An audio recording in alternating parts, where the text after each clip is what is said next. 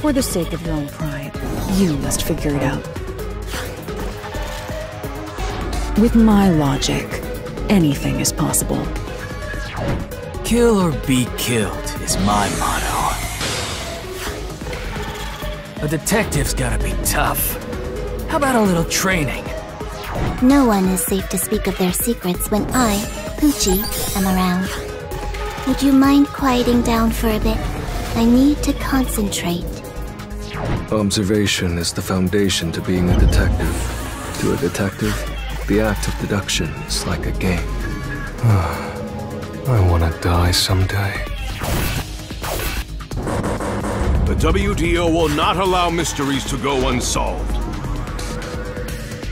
It's absolutely abnormal! That was your wish after all. I don't trust anyone except the dead. Too bad. The greater the detective, more often they encounter death. Shut up, you brain dead idiots! Eliminate all mysteries from this world.